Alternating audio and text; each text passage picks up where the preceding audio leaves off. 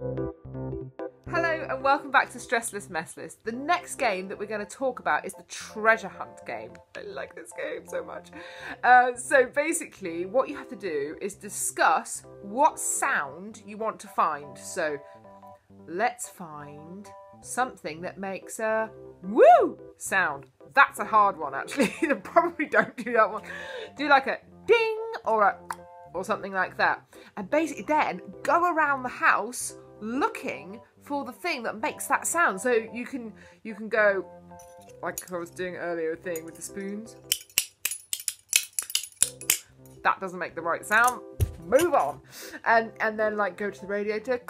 No, that's not the right sound. And then maybe go to the doorbell. Does the doorbell make the right sound? And that kind of thing. And literally go all over the house tapping things essentially uh, until you find something that makes the right sound and then celebrate come back and if if it looks like the child's enjoying that game do another one maybe something that makes a sound Ooh, that could be quite hard.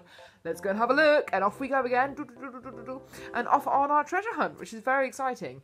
And finding things that make um, high noises or low noises. So it doesn't it doesn't have to just be like clock, like ding, whatever. It could be let's find something that makes a low sound or a loud sound or a quiet sound.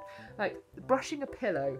I know I'm obsessed with this, but brushing a pillow, listen how quiet this is So you can hardly hear it.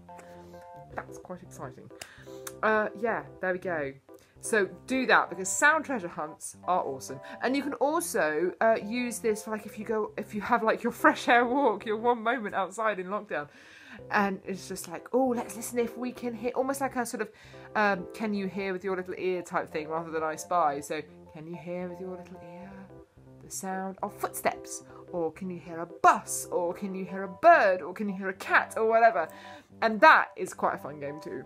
I like this game so much.